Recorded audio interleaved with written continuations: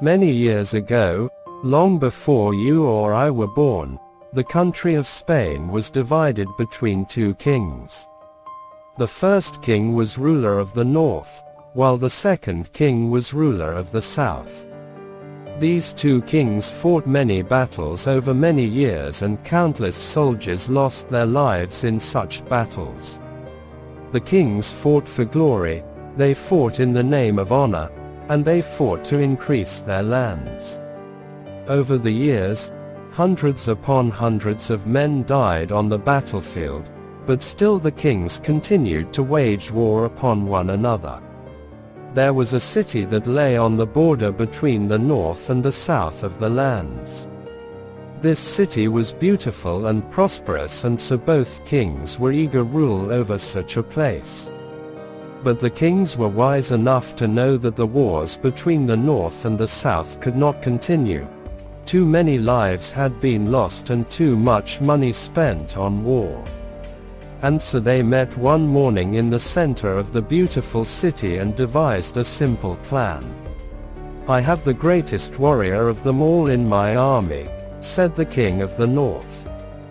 He is a captain and has won many battles.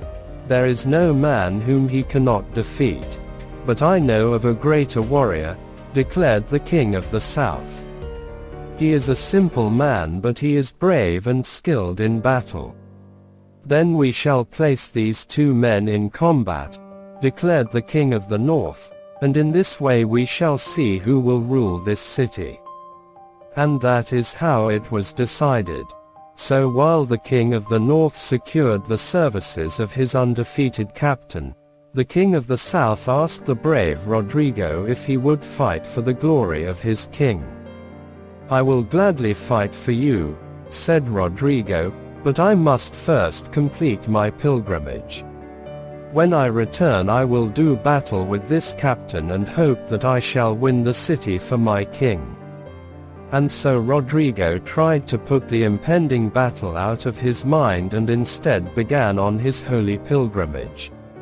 On his travels, Rodrigo came across a sickly leper who was begging by the side of the road. Despite his obvious hunger and desperate state, the people ignored the poor man and walked past him as if they did not know he existed.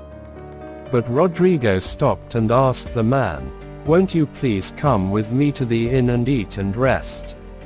The poor leper agreed and so Rodrigo helped the man up onto his horse and led him to the inn in the next village.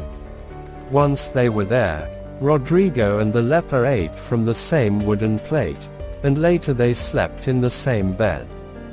When nobody would even look at the leper, Rodrigo was willing to share his food and the warmth of his bed with the stranger because he was not only a brave warrior but also a generous man who believed in helping others. It was late in the night when Rodrigo was sure he heard a wind blowing through the small room a wind that seemed to penetrate his very heart.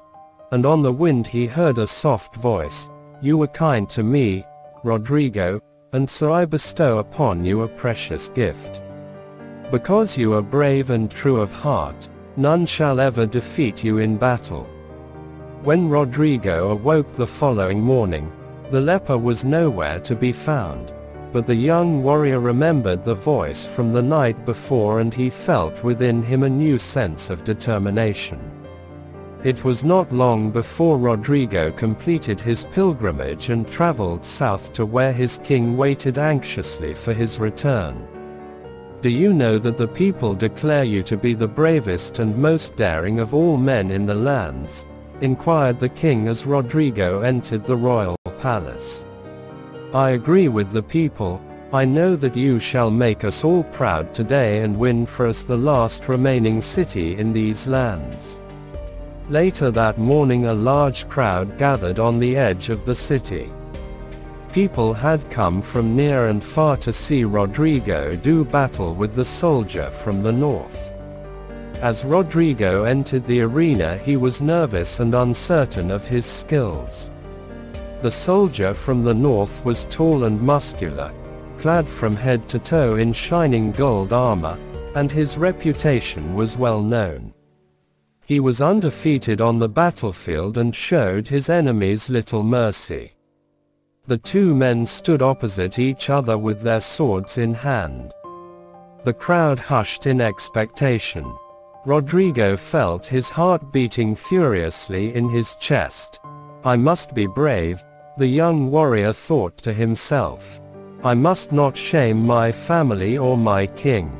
And if I am to die today, then I must do it with dignity and with my sword in my hand. It was then that Rodrigo heard the voice of the leper on a gentle breeze that rustled the leaves of the trees and lifted the sand from the earth. Because you are brave and true of heart, none shall ever defeat you in battle.